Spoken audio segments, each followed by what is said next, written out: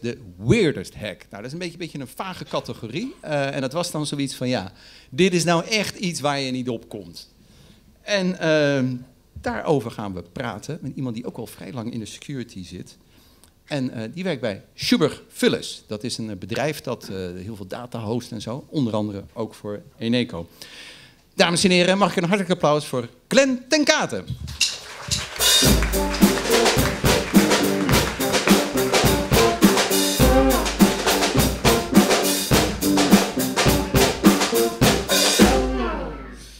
Glenn, hey, kikkerhoed man. Ja. Hij, hij is zwart. Ja, ben je, ben je nou een blackhead of... Uh... Ja, ik kom uh, nog uit de goede oude tijd uh, waar niet gekeken werd naar de kleur van je hoed. Maar ik, uh, ik ben een white hat hacker, ja. Oh, toch wel. Lekker om te verwarren, toch dat zwarte hoedje. Precies, social engineering, altijd leuk. Dus, uh... ja. Wisten jullie waar dat vandaan kwam trouwens? Uit de oude cowboyfilms. Dan, dan, ja, Amerikanen zijn niet zo slim, dus dan dachten ze van... de good guys krijgen een witte hoed en de bad guys krijgen een zwarte hoed. Dus toen we later hackers kregen, toen werd diezelfde analogie gebruikt voor black hat, white hat, hackers. Maar goed, zoals hackers zijn, wordt ook dat gehackt. Dus een white hat met een zwarte hoed. Nou ja, zo. Lekker verwarrend. Om lekker te verwarren. Hey, uh, nou, Super Phyllis. Uh, jullie hebben uh, ja, klanten die heel veel data verstoken. jullie beheren dat in jullie cloud. Zorg ook voor een secure manier. Jullie monitoren ook real-time alle dingen die bij Eneco gebeuren.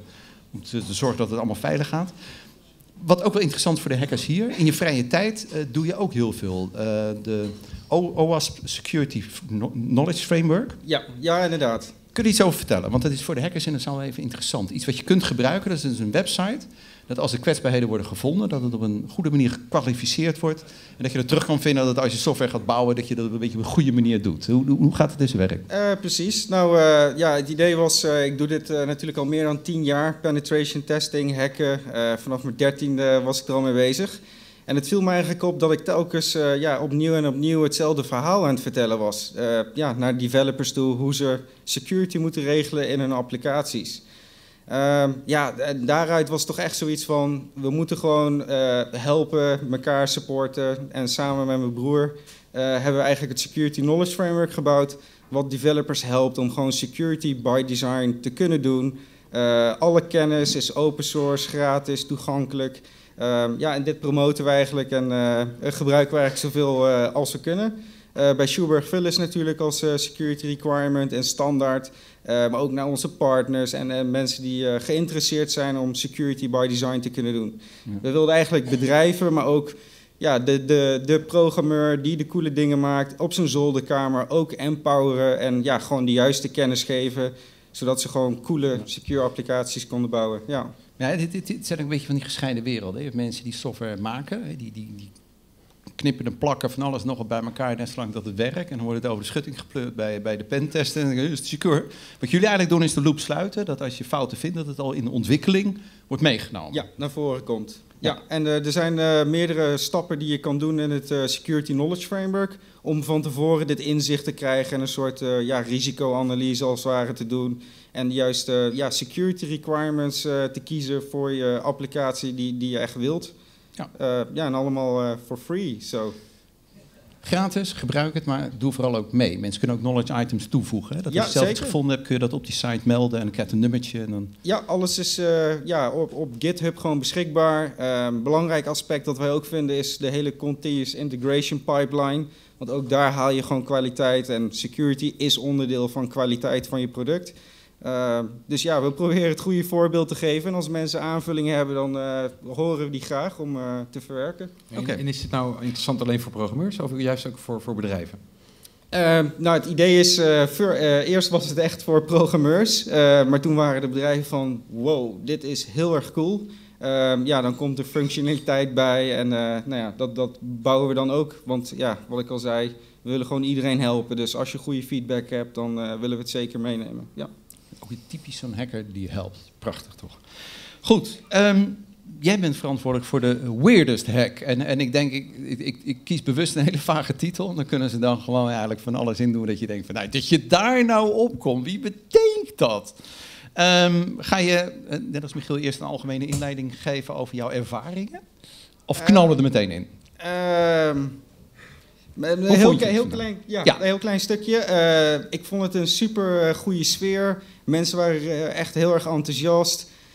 Ik moet zeggen, als jurylid moet je wel heel erg inhouden. We waren toch wel een beetje aan het meedenken met de mensen. Van, ja, misschien als je Oh. dit probeert. Of... dus dat was...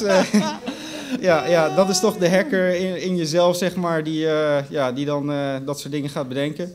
Eh, ik vond het echt een superdag. Ik vond de opstelling heel erg cool. eh, hoe het lab eruit zag en, eh, en de mogelijkheden. Ehm, De weirdest hack, moet ik wel zeggen. Het doet me denken aan een hack die ik ja, ook wel zelf...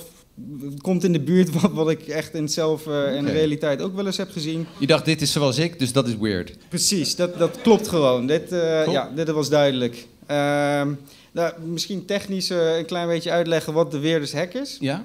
Ehm, er is dus een team geweest die dus eh, nou, een POC heeft eh, gedeeltelijk laten zien.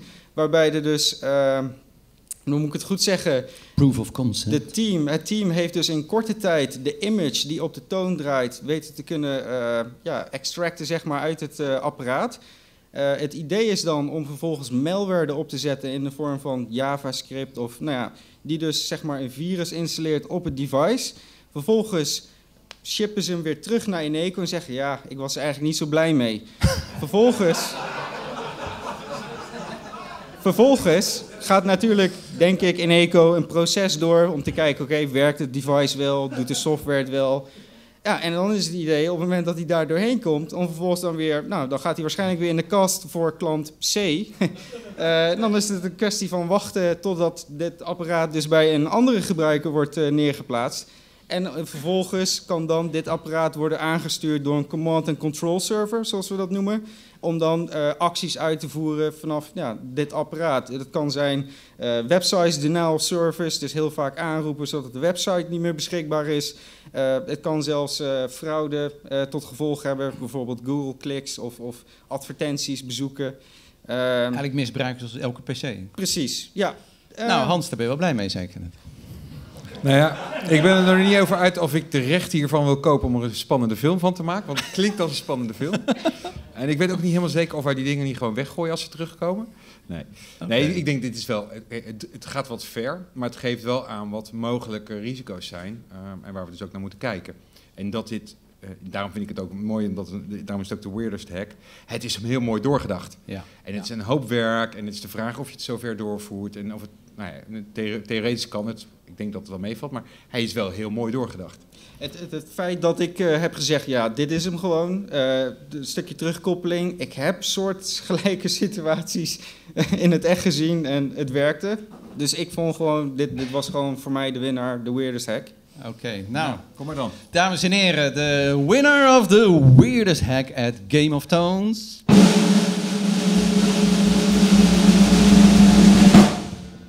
Sesamstraat. Team Sesamstraat! Woe!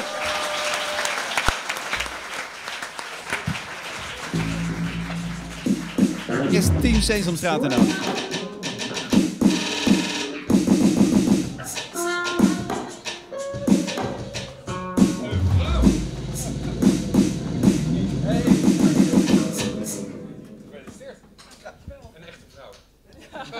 Eh, herken jij niet? Ja, herkennen jullie haar niet, dames en heren? Dit is de directeur van het Nationale Cybersecurity Centrum. applaus, applaus. Gewoon Patricia Zorco in de house. Nee, dit is echt, echt een bijzondere verrassing. Want, want ik zat er een beetje mee. Dat team Sesamstraat, eh, die, die meldde zich aan als, als Bert. Ja, we willen liefst anoniem blijven. Ja, dat mag. Hè? Dat is een van de codes. Maar kun je iets zeggen? Ja, iets met overheid. Zoiets. Nou, dat is alles wat ik wist. En ik zei, ja, heb je misschien namen voor bij de toegang? Want we willen niet dat iedereen zo naar binnen loopt als journalist. Dus alleen degenen die zich echt bij mij hebben aangemeld. Nou, daar moesten ze niet zo lang over nadenken. Dus dat werd Bert, Ernie, Elmo. Pino werd op een gegeven moment Cookie Monster. Maar dat het NCAC erachter zit, why? Ja, ik ben ook helemaal eh, trots. En ook een beetje verbaasd. Wist je dat ze hier waren? Ja, ik had wel zo eh, mijn vermoedens. eh, want het was wel een beetje leeg op de afdeling. Ik denk, hé, mijn beste hackertjes die zijn er ineens vandoor. Waar lopen ze rond? En ehm, ja, een mooie moment kan natuurlijk niet. Het is nu Alert Online. Hè? Dat is de, de cybersecurity campagne die van uh, 4 tot 14 oktober loopt om het hele land weer even aware te maken van hé hey jongens, let erop, let erop, let erop. Veel naar het publiek toe, maar ook veel organisaties onderling. En het NCC is daar ooit mee begonnen. Hè? Nu is het ECP voert het uit. Is een grote campagne, 200 partners. Maar jullie zijn er ooit mee begonnen. Hè? Waarom? Nou, het was gewoon nodig om in uh, Nederland uh, meer aandacht te hebben voor, uh, voor zeg maar de ja, awareness op cybergebied. En ja, dit, dit zijn natuurlijk de mensen die er allemaal heel veel verstand van hebben. Maar ja, dat is gewoon in Nederland, als je kijkt naar de volle breedte, echt nog niet zo. Dus dat moet gewoon veel meer, er moet gewoon veel meer gebeuren. En daarom hebben we dat initiatief genomen. Maar we zijn wel heel blij dat ECP dat nu overgenomen heeft. Dat er zoveel mensen meedoen. En dat hier juist van, uh, ja, vandaag zo'n Game of Tones. Nou, daar ben ik wel heel erg trots op dat we dat in Nederland doen. En dat zei uh, Klaas Dijkhoff vanmorgen ook toen we hem bijpraten over alles wat er gebeurt rondom Alert Online. Hij zegt, nou, dit vind ik wel echt een hele mooie. Dit is echt een voorbeeld van ons digitale poldermodel, zoals hij ook wel zegt. Dit kunnen we ook echt uit, ja, hoe leg je dat uit in het buitenland? Dit is echt typisch uh, in uh, Nederland uh, dat dit soort dingen gebeuren. Maar ik vind het ook heel stoer van Eneco. En misschien, ik geloof dat er een vrouwelijke CISO is bij Eneco. Heeft het daar misschien ja, te maken? Louisella Tempierik. Ja, even een applaus voor haar. Dus, ja, Louisella was van begin tot einde, tot, ja, tot met nu bij. Je, je gaat naar steden toe, dat wel. Dat vind ik wel heel jammer. Je heeft enorm geholpen. Het was van begin af aan ook echt ja, de supporter van het concept, maar heel veel mensen bij Neco en QB die deden meteen mee. En dat, dat tekent wel de openheid. Nu de andere energiebedrijven nog, natuurlijk. maar dat, dat werkt allemaal goed. Want jij was er ook bij toen, uh, we lieten nog even de foto net zien. Uh, dat 30 Nederlandse bedrijven het Coordinated Vulnerability Disclosure Manifesto ondertekenden. Uh, dat, ja, ik maar zeggen, drie jaar nadat jullie de richtlijn hadden gepubliceerd over responsible disclosure. Hoe, hoe, hoe, hoe vond jij dat moment? Nou, ik vond het een heel mooi moment. En ook dat er ook al een paar internationale bedrijven toch meedoen. Maar er moet ook nog heel veel gebeuren. We moeten dat geluid ook echt laten horen. En ik vind dat ook vandaag weer echt een volgende stap is gezet. Ehm, hackers, bedrijven, overheid. Nou, wat wil je nog meer? Als je echt samen de schouders eronder zet, dan, dan bereik je dit soort dingen. Dus ja, eigenlijk echt namens iedereen. Hè, want ik ja, voel me een beetje ja, een beetje, wat zal ik zeggen? Je hebt niet gehackt? Nee, daarom. Uh, ik sta een beetje met mijn mond vol tanden, dus vraag me niet te veel uh, inderdaad wat er precies gebeurd is. Nee, maar je, je, hebt, je, hebt, wel als directeur je toestemming ertoe voorgegeven dat het mocht. Dat vind ik ook wel heel stoer eigenlijk. Ja, dat is, dat is ook belangrijk, maar ik geloof ook wel dat als ik het niet zou willen, dat het toch wel gebeurt. Zo zijn ze ook wel weer. Hey, tot slot. nou, jullie hebben de prijs gekregen voor de weirdest hack. Um, jullie hadden natuurlijk ook de most techy hack. Dat zou je dan verwachten van een National Cybersecurity Center. Of de most dangerous hack. Nee, jullie hebben de weirdest hack gekregen. Wat, wat vind je daarvan? Ja, we, we zijn gewoon niet in een, uh, een, hokje te plaatsen. Hè? Dus ja, zo gaat dat. En uh, je moet een beetje meebewegen met, uh, met alles wat er nodig is. En, ja. Nou, ik vind het geweldig dat de weirdest hackers of them all, notabene, bij jullie zitten. Dankjewel. Patricia Zorko.